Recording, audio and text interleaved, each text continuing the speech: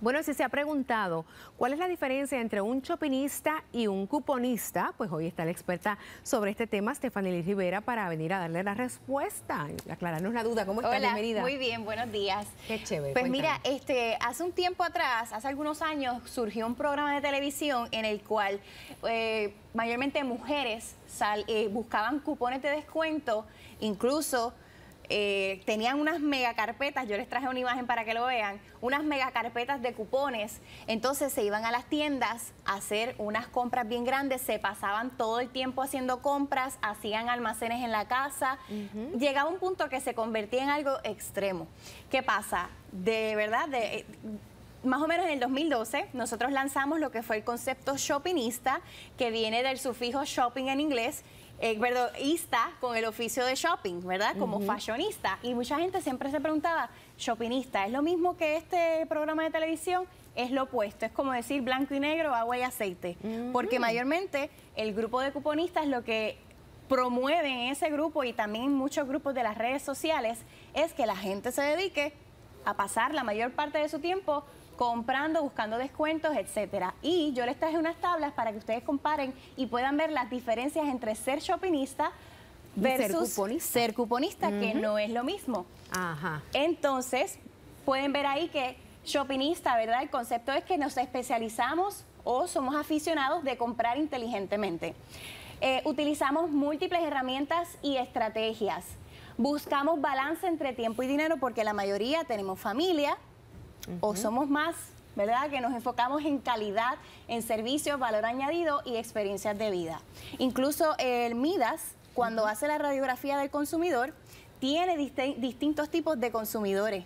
Y dentro de esos está el que es planificador, está el familiar, está el aventurero y está el impulsivo.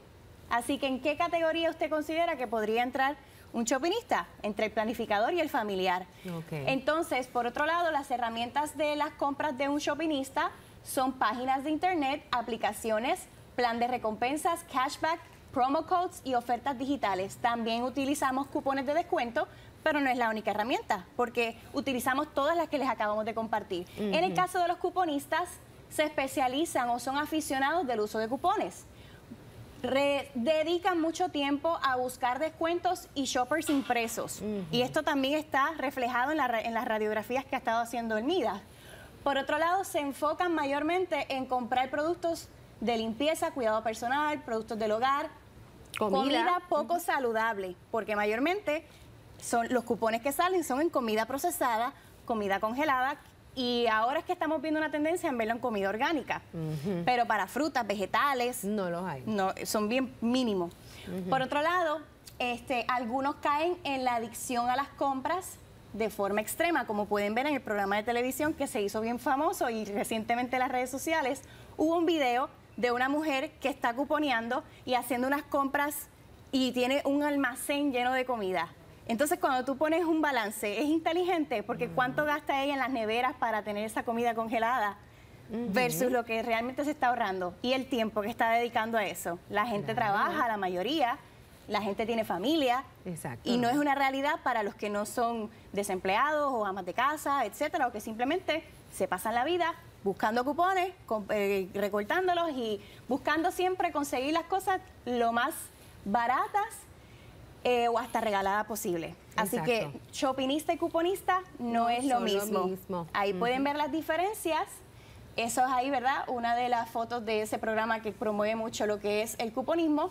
Y me estoy, ¿verdad?, haciendo referencia a ese programa en particular, porque es el que ha tenido mucho auge en las redes sociales y la gente confunde lo que es shoppingista, que es un comprador inteligente, con ese programa de televisión que promueve a los cuponistas extremos. Así que somos blanco y negro, agua y aceite, opuestos. Que no, no, no tienen la misma filosofía Correcto. de trabajo. Correcto. Pero ciertamente dentro de, dentro de los- las herramientas que se promueven para uno ahorrar, los cupones están también disponibles. Claro. Así que mucha gente que, que sepa que los tiene que aprender a usar y todo en extremo es malo. Claro que sí. Así que con mucha precaución. La Chopinista con 2P, así es como pueden encontrar a Stephanie en Facebook. En Facebook, en Twitter, Instagram. Instagram. que la pueden conseguir o bajar la aplicación. Correcto, ahí les damos clases de compras inteligentes, me pueden preguntar y también les compartimos múltiples herramientas para ayudarlos. Además, soy personal shopper en línea que les digo dónde, cómo, cuándo comprar según sus necesidades o los gustos que se quieran dar en familia. Perfecto, gracias Stephanie. Buen fin de semana.